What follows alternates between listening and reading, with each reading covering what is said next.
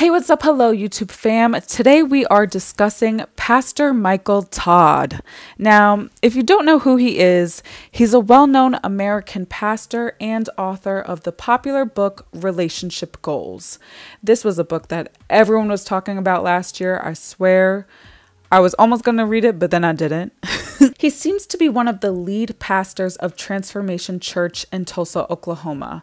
You can listen and watch many of his sermons on YouTube, as it seems he's one of those pastors who's not only about preaching to the world, but also about collecting that coin. Now, I say that because when I first heard of this man from some friends, I felt inspired after hearing about his book and listening to some of his sermons. But while also listening closely, I had to give a little side eye because the way he was really trying to push those book sales, while I understand he's a businessman, he's also a pastor. And sometimes I get a little iffy about listening to the words of people who are very much working to also put money in their pockets. I'm not saying he's a bad guy or anyone is wrong for listening to him or choosing to support him. I'm just saying, for me personally, it is a little hard for me to trust pastors that preach to masses like this, especially in this day of social media and fame. So, Pastor Mike Todd has been trending recently as he held a service, and during his sermon, he collected a bunch of his own spit into the palm of his hands and he wiped it all over his brother's face. But you hit.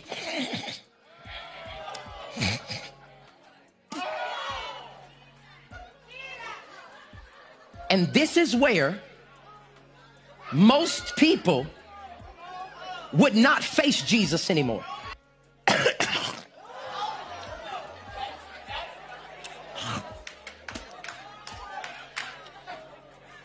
What I'm telling you is just as he's physically standing here, knowing what's coming.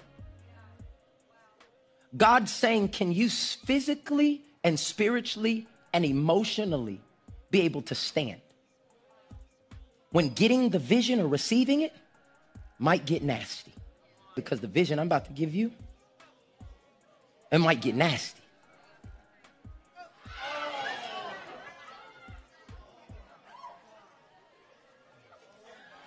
And do you do you hear and see the responses of the people?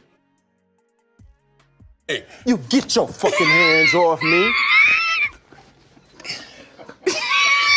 And COVID was in there somewhere. God bless. But that COVID was in there. God bless. Nasty. Disgusting. I'm gagging. I am throwing up.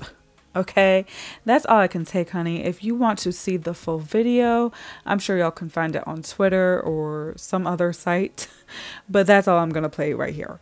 Now, apparently, this whole stunt was in reference to a Bible passage in which Jesus restored a blind man's sight by rubbing his own spit over a man's eyes.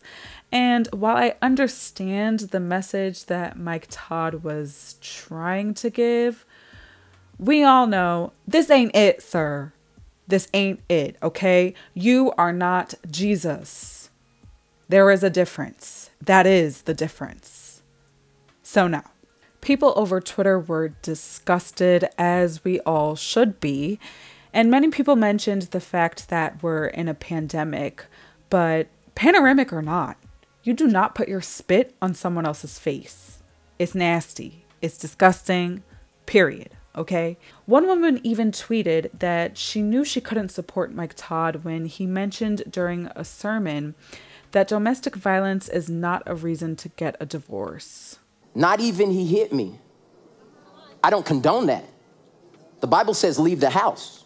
Oh, y'all about to be real mad if y'all don't read y'all Bible. But that's not the reason to leave the marriage. See, it's 2022.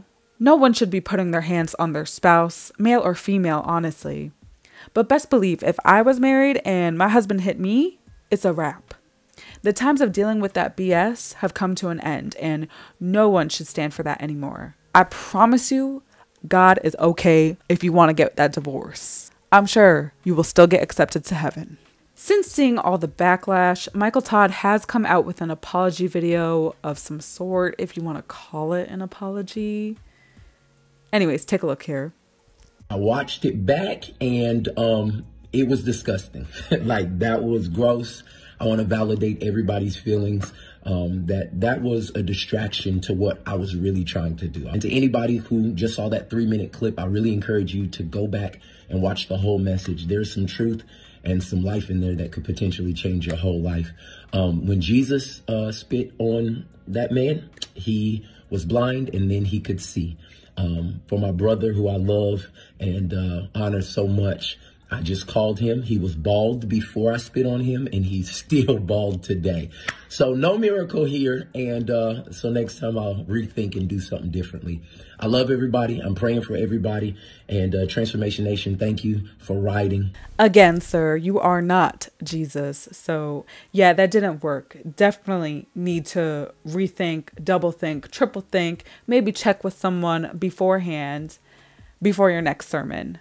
Obviously, this was appalling. Many people who didn't know of Mike Todd are now seeing this as a first impression. As I've already mentioned, that I don't really support this man.